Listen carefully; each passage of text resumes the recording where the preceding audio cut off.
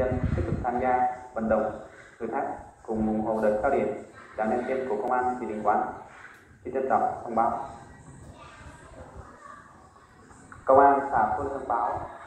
nhằm thực hiện dự án cơ sở dữ liệu quốc gia về dân cư và phối hợp sản xuất cấp quản lý căn cước công dân trên địa bàn xã Phú Lợi đến ngày 30 tháng 9 năm 2022. Theo thông báo của công an tỉnh Quảng, vẫn tổ chức thu nhận thông tin phục vụ các căn cước công dân gắn với điện tử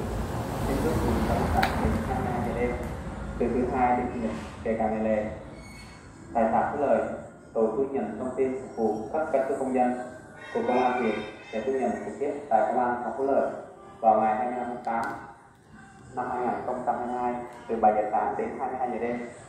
và dự kiến ngày tiếp theo là ngày 1 tháng 9 năm 2022. Công an thành phố Lợi đề nghị mời công nhân từ 14 tuổi trở lên địa bàn hãy nhanh chóng đến công an xã Phú để được cấp số định danh và thực hiện thủ tục cung cấp, phục vụ cấp căn cước công dân, gắn chip điện tử. Những ai không đi được ban ngày thì đi vào buổi tối. Đối với những người già yếu tật nguyện thì thông tin cho công an xã để lập danh sách tôi đề nghị cấp căn cước công nhân của công an huyện đến thực hiện thu nhận thông tin tại nơi ở của người đó